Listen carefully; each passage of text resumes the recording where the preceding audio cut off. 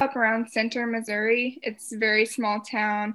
I've always loved small towns. It's something that I've always been a part of, and it's something bigger than it is, even being from a small town. I went to Mark Twain High School with very, very small amount of students, and I loved it.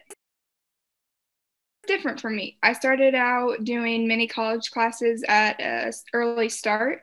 Um, my junior year, I was able to finish before I finished high school, I was able to finish one year of college. Um, I took many extra gen eds to get through those, and then that way I could enter the MLT program right once I grad- graduated. Good. I'd say my love for biology. I like puzzles, I like helping people. What I like most about the laboratory is that many people honestly don't know about the laboratory. It's something that is hidden. It's that hole in the wall in the hospital that is a hidden profession that is saving lives.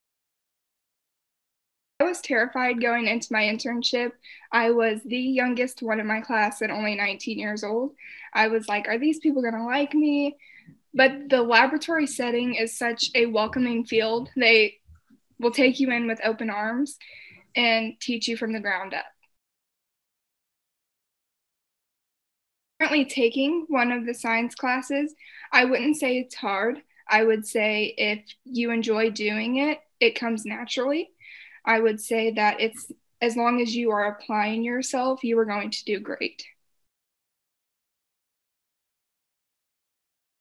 Say it was one of the best experiences of my life. I was able to go into this knowingly that I was going to be in a career that I would feel comfortable in, I would feel safe in, and that I enjoyed doing for a long time. I would say that I would recommend it to absolutely anybody. The school itself is so good about helping students that want to go into this career, helping them get the job after the schooling. They are really good about everything. Wonderful thing that I love about the hospital that I did one of my clinicals at is that the nursing staff and the doctors are honestly much closer than you would see in bigger hospitals. Um, I get a lot more communication and interaction with them, which I love. I love being able to go to them for anything, um, and they can come to us. That's what I like about it. I noticed that. Um, it's definitely a communication. I would say the communication is very good between doctors and nurses in the lab, at least where I'm at.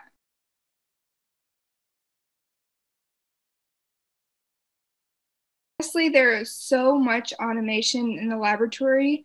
You start out in school learning the manual ways to do things, and you just go into these laboratories and you see all of these new pieces of technology that are making things so much more efficient.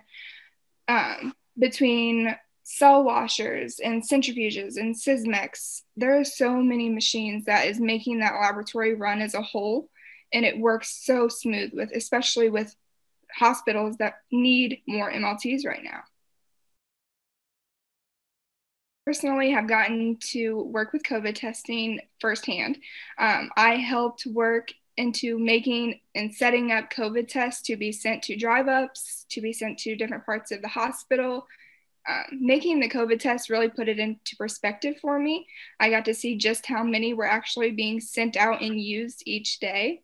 So yeah, we've gotten to do a lot and at different clinical laboratories that I've seen, there's so much more technology already being put into place for COVID testing.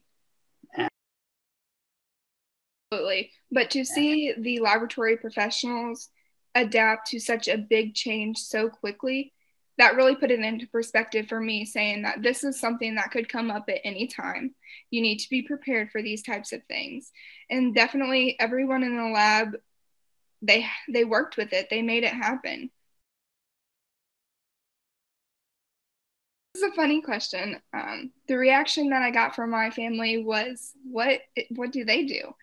Um, many of them were excited because they knew I wanted to go into healthcare, but they were more excited when they realized what laboratory professionals are doing each day.